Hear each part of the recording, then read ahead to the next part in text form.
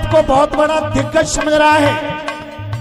अरे नीच, तूने बोला है कि बुद्ध नपुंसक थे, इसलिए अपने पुत्र और पत्नी को छोड़ करके चले गए।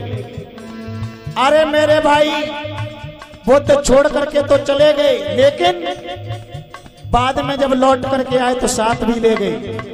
यशोधरा और राहुल को संघ में प्रवेश दिया दिया या नहीं दिया। और ऐसा ज्ञान दिया जो आवागमन से मुक्त हो गए। और ये तू सुनता है तो सुन, बुद्ध अकेले चले गए, लेकिन बुद्ध ने अपनी गर्भवती पत्नी घर से बाहर नहीं निकाली। बुद्ध धर्म में किसी भी राजा महाराजा ने अपनी पत्नी को दाव पर नहीं लगाया। यहाँ पर तो माता बहनों का सम्मान हुआ है। और तू अपने आप को ज़्यादा धुरंधर समझ रहा है। तो तेरे बाप दादा शाक्यों को अपनी बहन बेटियाँ दान में दिया करते थे। और जो सम्राट अशोक की माँ है ना, उसे पता है, उसने खुद बोला है कि सम्राट अशोक की माँ नायन थी।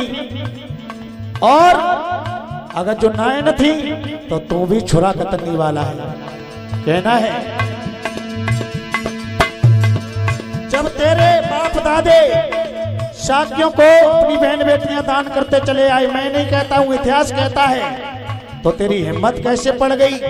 जो तूने बुद्ध को नपसक बोल दिया।